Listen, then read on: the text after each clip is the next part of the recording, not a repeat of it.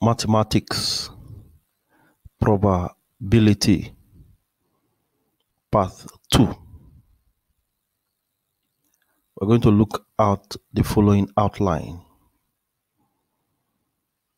Probability on dice will be continued. That we finished in the last video.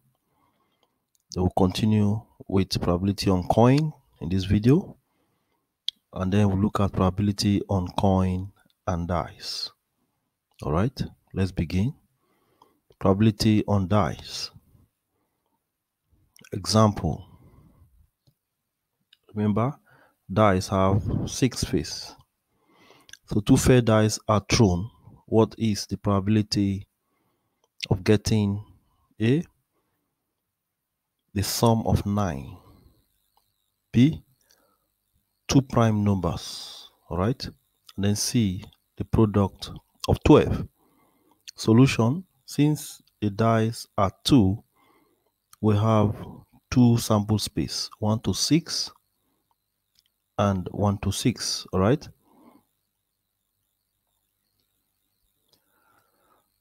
The sample space number of sample space will now be 6 times 6 which is 36 all right? So we're going to put it in table form the first dice 1 to 6 okay? The second dice on the side 1 to 6 this time we are not adding because we are asked question on product we are asked question on sum so we can't just sum sum it or add it. So we'll just put the numbers side by side all right 1 1 1 comma 2 1 comma 3 1 comma 4 1 comma 5 1 comma 6 then 2 comma 1 2 comma 2 2 comma 3 2 comma 4 and so on. All right? 3 comma 1 3 comma 2 3 comma 3 and so on.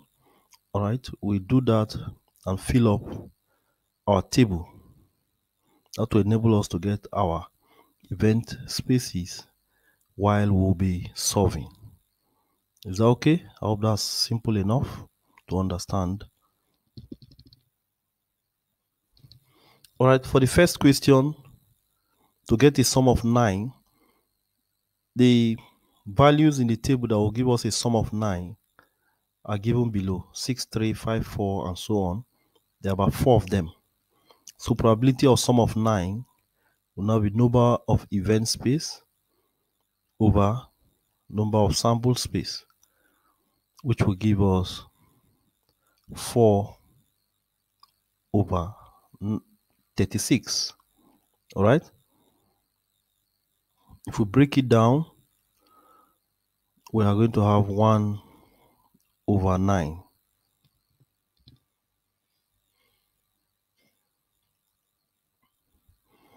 all right the b part of the question two prime numbers.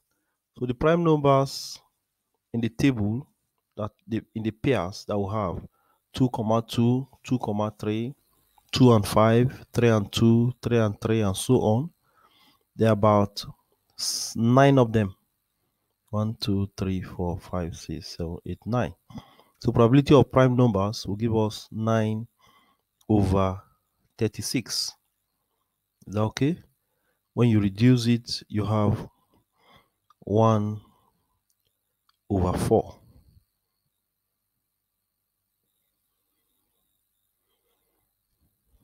Next, the C part, probability of getting product of 12.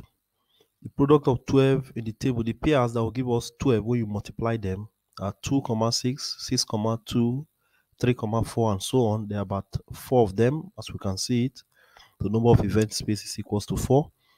The probability of product of 12 will now be 4 over 36. Is that okay? Don't forget the sample space is 36. That's 6 times 6. So we'll reduce it down. We're going to have 1 over 9. That's our answer. Next, we look at probability on coins. A coin have two sides, the front and the back, all right? The front is the head and the back is the tail. Take note of that. let's look at this example. A fair coin is tossed once. What is the probability of getting A, a tail, B, a head, and C, a tail or a head? Solution. So the coin can be head or tail. So number of event space is 2. Probability of getting a tail will be the number of event space is 1, alright? So probability of getting a tail will be 1 over 2. Don't forget, head or tail, that the sample space is 2. So getting a tail will just be 1 over 2. Probability of getting a head, the number of event space is also 1, alright? So probability of getting a head will also be 1 over 2. That's very easy. Okay. The C part of the question, probability of getting a head or a tail would be to add the answers we had in A and B. So 1 over 2 plus 1 over 2.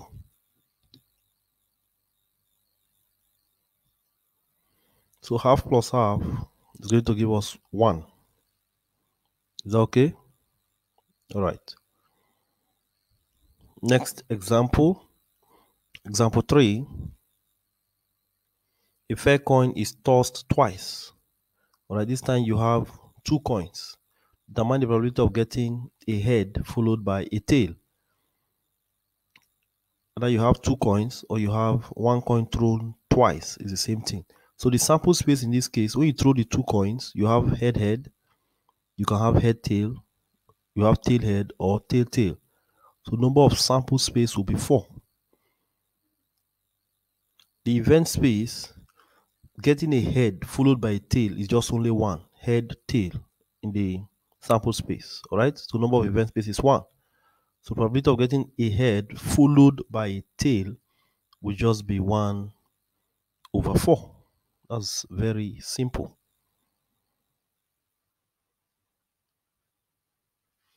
Example 4 now. A coin is tossed three times. Either one coin tossed three times or three coins thrown once is the same thing. Find the probability of getting two tail and one head. All head. Okay. At least one tail right solution the first coin can either have head or tail. Second coin can have head or tail. And the third one can have head or tail. We're going to use the tree diagram to make it easy. Using the tree diagram we have the coin all right? Now first row you have head or tail a head or a tail. Second row, all right, you are going to have four sample space head, tail, and head, tail. And the third row, we're going to have eight sample space, which is what we need right now. Head, tail, head, tail, head, tail, and head, tail. All right. So, we're going to put them in brackets. So the first, when you throw the three coin, you can have head, head all through for the three, or head, head, tail, right? Or head, tail, head, or head, tail, tail, or tail head head or tail head tail or you can have tail tail head and finally you can have tail tail tail. All right? So number of sample space is 8 for this. So a part of the question two tail one head in the tree diagram is listed. We have three of them head, tail, tail, tail, head, tail, and so on. All right, three of them. So probability of two tail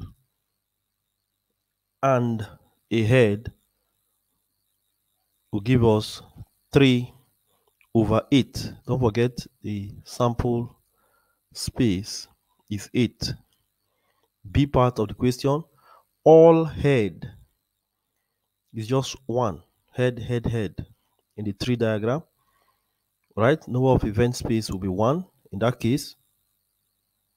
So probability of whole head will be 1 over 8. Is that okay? C part of the question, at least one tail simply means count where you have one tail to where you have two tails to where you have three tails. So in the tree diagram, we have about um, seven of them. So probability of at least one tail will give us 7 over 8. of that's clear. So probability on coin and dice, the last part of the study. Example 5 now.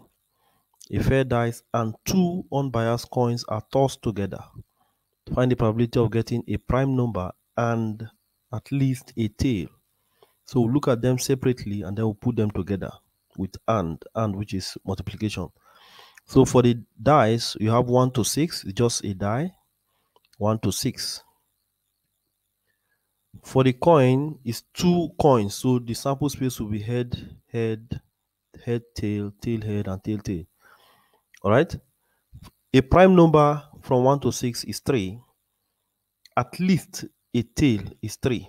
So probability of prime number will give us 3 over 6, which is the total in the area of the dice. In the area of the coin, probability of at least one tail will give us 3 over 4. The total is 4. All right. Don't forget in the bracket that we have above. Okay. So probability of prime number and at least one tail and means to multiply. So we're going to multiply both our answers. 3 over 6. All right. Times 3 over 4. Okay.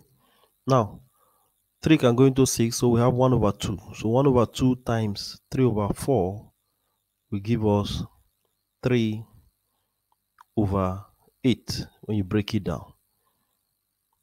Is that okay? So you're going to do the following exercise to practice so that you'll be very good in the topic. Two fair dice are thrown. What's the probability of getting A, the sum of 8, B, two odd numbers, C, the product of 15, D, a difference of 2. Number two part of the question, if a fair coin is tossed once. What's the probability of getting A, a tail, B, a head, C, a tail or a head?